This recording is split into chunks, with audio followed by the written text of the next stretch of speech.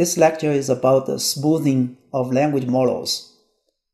In this lecture, we're going to continue talking about the probabilistic retrieval model. In particular, we're going to talk about the smoothing of language model in the query likelihood retrieval method. So you have seen this slide from a previous lecture. This is the ranking function based on the query likelihood.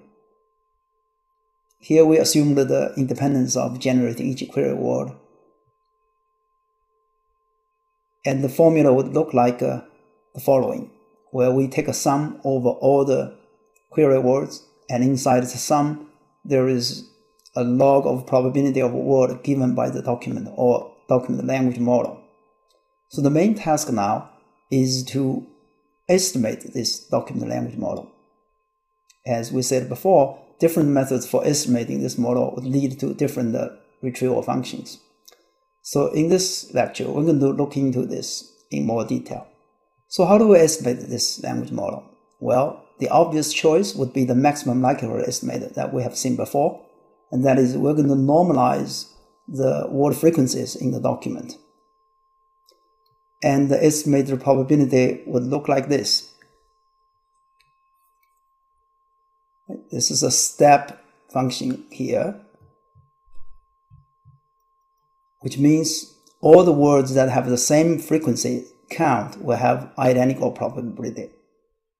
Right? This is another frequency count that has a different probability. Note that for words that have not occurred in the document here, they all have zero probability. So we know this is just like uh, the model that we assumed earlier in the lecture, where we assume that the user would sample word from the document to formulate the query. And there's no chance of sampling any word that's not in the document. And we know that's not good. So how do we improve this? Well, in order to assign a non-zero probability to words that have not been observed in the document, we would have to take away some probability mass from the words that are observed in the document. So for example, here we have to take away some probability mass because we need some extra probability mass for the unseen words. Otherwise, they want sum to one. So all these probabilities must sum to one. So to make this transformation and to improve the maximum likelihood estimator by assigning non-zero probabilities to words that are not observed in the data, we have to do smoothing. And smoothing has to do with improving the estimate by considering the possibility that if the author had been written, uh, had, had been asked to write more words for the document, the, the author might have written other words. If you think about this fact, then a smooth language model would be a more accurate representation of the actual topic. Imagine you have seen an abstract of a research article. Let's say this document is an abstract, right? If we assume uh, unseen words in this abstract, we have a, probability of zero. That would mean there's no chance of uh, sampling a word outside the abstract to formulate the query. But imagine a user who is interested in the topic of this abstract. Um, the user might actually choose a word that's not in the abstract to, uh, to use as a query. So obviously, if we had asked this author to write more, the author would have written the full text of that article. So smoothing of the language model is an attempt to uh, to try to recover the model for the whole whole article. Uh, and then, of course, we don't have really knowledge about uh, any words that are not observed in the abstract. So that's why smoothing is actually a tricky problem. So let's talk a little bit more about how to smooth a language model. The key question here is what probability should be assigned to those unseen words? And there are many different ways of doing that. One idea here uh, that's very useful for retrieval is let the probability of an unseen word be proportional to its probability given by a reference language model. That means if you don't observe the word in the data set, we're going to assume that its probability is kind of uh, governed by another reference language model that we will construct. It will tell us which unseen words will have uh, likely a higher probability. In the case of retrieval, a natural choice would be to take the collection language model as the reference language model. That is to say, if we don't observe a word in the document, we're going to assume that the probability of this word would be proportional to the probability of the word in the whole collection. So more formally, we'll be estimating the probability of a word given a document as follows. If the word is seen in the document, then the probability would be a discounted the maximum likelihood estimate, P sub c here. Otherwise, if the word is not seen in the document, we're going to let probability be proportional to the probability of the word in the collection. And here the coefficient alpha uh, is to control the amount of probability mass that we assign to unseen words. Obviously, all these probabilities must sum to 1, so alpha sub d is constrained in some way. So what if we plug in this smoothing formula into our query likelihood ranking function? This is what we will get. In this formula, you can see uh, we have this as a sum over all the query words. And note that we have written it in the form of a sum over all the vocabulary. You can see here, this is a sum over all the words in the vocabulary. But note that we have a count of the word in the query. So in effect, we are just taking a sum of query words. Right, this is uh, now uh, a common way that we will use because of its uh, convenience in some transformations. So this is, as I said, this is sum of all the query words. In our smoothing method, we assume that the, the words that are not observed in the document will have a somewhat different form of probability, namely its form, this form. So we're going to then decompose this sum into two parts.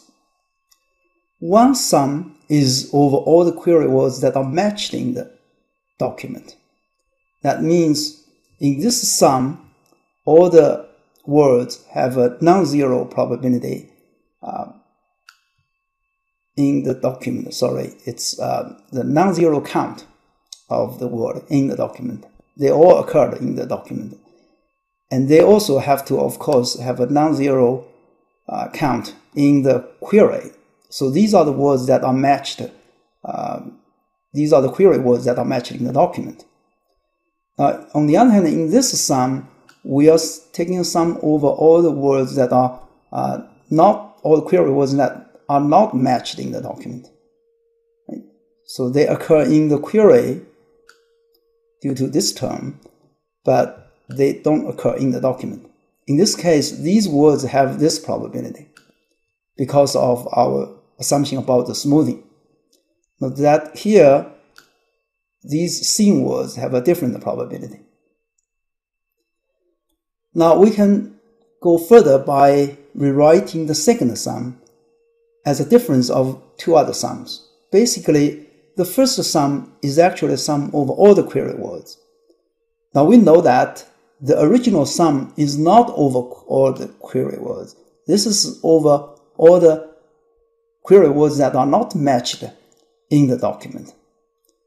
So here we pretend that they are actually uh, over all the query words. So we take a sum over all the query words. Obviously, this sum has extra terms that are, this sum has extra terms that are not in this sum. Because here we're taking sum over all the query words. There, it's not matched in the document. So in order to make them equal, we'll have to then subtract another sum here. And this is the sum over all the query words that are matched in the document. And this makes sense because here we're considering all query words, and then we subtract the query words that are matched in the document. And that would give us the query words that not matched in the document. And this is almost a reverse process of the first step here. Right? And you might wonder, why do we want to do that? Well, that's because if we do this, then we have different forms of terms inside these sums. So now you can see in this sum, we have uh, all the words matched, the query words matched in the document uh, with this kind of terms. Here we have another sum over the same set of terms, matched query terms in document, but inside the sum, it's different. But these two sums can clearly be merged. So if we do that, we'll get another form of the formula that looks like uh, the following at the bottom here. And note that this is a very interesting formula because here we combined these two, that our sum over the query words matched in the document into one sum here. And the other sum now is decomposed into two parts and and these two parts look much simpler just because these are the probabilities of unseen words. Now this formula is very interesting because you can see the sum is now over all the matched query terms. And just like in the vector space model, we take a sum of uh, terms that are in the intersection of query vector and the document vector.